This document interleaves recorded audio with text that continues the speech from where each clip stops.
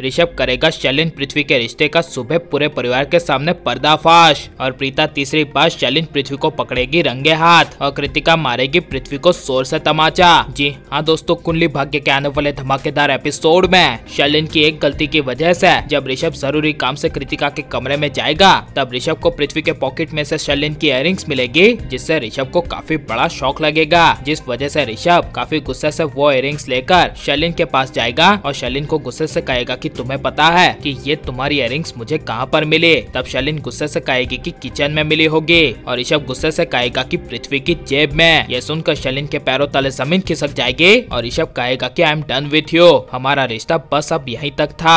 ये सुनकर शैलिन कुछ बोल नहीं पाएगी, जिसके बाद ऋषभ शैलिन के सामने से चला जाएगा। लेकिन ऋषभ शैलिन पृथ्वी को सबके सामने एक्सपोज तब करेगा और प्रीता तीसरी बार शैलिन पृथ्वी को एक साथ तब पकड़ेगी, जब ऋषभ को पृथ्वी के पॉकेट में से शैलिन की इयरिंग्स मिलने की वजह से ऋषभ ने प्रीता की बातें ना मानकर प्रीता पर गुस्सा किया था, इसीलिए ऋषभ शलिन के साथ सारे रिश्ते तोड़कर प्रीता के पास जाएगा, जहाँ पर ऋषभ प्रीता से सबसे पहले माफ़ी मांगेगा और कहेगा कि I am sorry Preeta ji, आप सही थी। शैलिन पृथ्वी का दोनों का अफेयर चल रहा है। ये सुनकर प्रीता को काफ़ी दुख होगा, लेकिन प्रीता ऋषभ को कहेगी कि, आप माफ़ी मत मांगिए, क्योंकि यह सच्चाई मैंने आपके सामने लाई है, इसलिए आई एम सॉरी और प्रीता इमोशनल होकर ऋषभ को कहेगी कि, मैंने शैलिन पृथ्वी को दोनों को कई बार समझाने की कोशिश की, लेकिन उन दोनों ने मेरी बात मानी ही नहीं और उन दोनों की सच्चाई आपके सामने आने के बाद आपका दिल इतनी बुरी तरह से टूटेगा, ये मैंने कभी सोचा नहीं था। यह सुनकर ऋषभ इमोशनल होकर कहेगा कि कभी कभी दिल टूट जाना ही अच्छा होता है और कहेगा कि प्रीता जी मुझे आप पर हमेशा से भरोसा है। तो ऐसा आप कभी मत सोचना कि मैंने आप पर भरोसा नहीं किया, क्योंकि इस पूरे घर में सबसे ज़्यादा मैं आप पर भरोसा करता हूँ और गुस्से से ऋषभ शैलिन पृथ्वी की सच्चाई का पर्दाफाश करने के लिए एक बड़ा फैसला लेकर प्रीता को कहेगा कि कल मैं सुबह शैलिन पृथ्वी की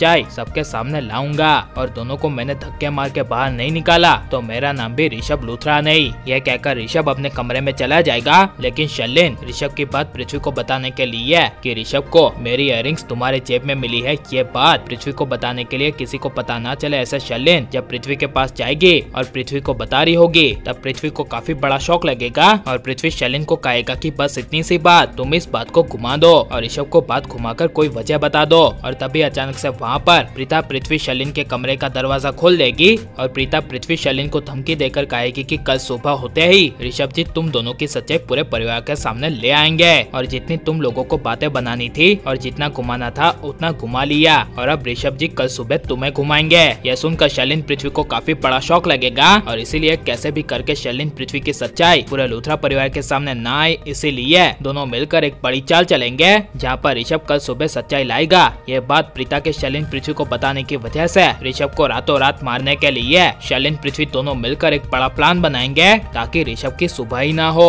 और ऋषभ के मरने का इल्ज़ाम प्रीता पर आए और प्रीता फंस जाए। और इसी वजह से यह शैलिन पृथ्वी का प्लान ऋषभ को मारने का अगर सक्सेसफुल हो गया और ऋषभ की अगर मौत हो गई तो इसके बारे में आपकी राय क्या है? ये सब हमें कॉमेंट में ज़रूर बताएँ। और आप प्लीज़ इस वीडियो को लाइक करो और ज़्यादा से ज़्यादा शेयर कर दे। अपना हमारे चैनल को सब्सक्राइब नहीं किया तो प्लीज़ सब्सक्राइब कर ले। मिलते हैं अगले वीडियो में। Take care